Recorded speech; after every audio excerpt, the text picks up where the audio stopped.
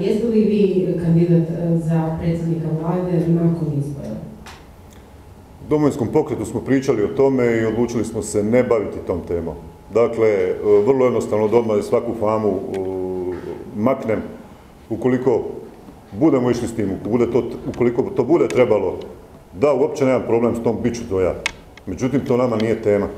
Dakle, u ovoj fazi e, gdje analize govore da je domovinski pokret na 8% slati poruku da je domovinskom pokretu bitno ko će sjesti u fotelju premijera je za nas nešto što nije u, našem domovinskom promišljanju. Znači da mi ljudima koji, kojima, evo dok pričamo, ubijaju zadnje blago u idu stoke, pričamo o tome gdje sebe vidim ja, gdje čipe, je jednostavno, shvatite, tako mi osjećamo, je nešto što nije primjereno.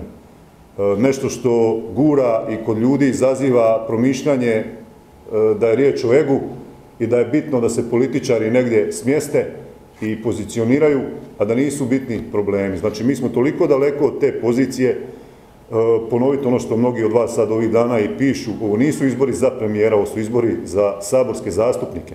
Pa ajmo vidjeti ko će koliko ovih glasova, pa onda vidjeti ko će s kim koalirati, kako će se sastaviti iduća vlada, pa onda tek dolazi na stol ili u sklopu tih, te zadnje faze, tko će biti premijer. Znači, apsolutno u, slijed demografskog sloma, devastacije gospodarstva, rekordne inflacije, pada životnog standarda građana, domovinski pokret ne želi slati poruku Hrvatskoj i hrvatskim građanima da je nama bitno ime i prezime premijera. Puno su nam bitniji rezultati koje će taj premijer izbacivati zajedno sa svojom vladom.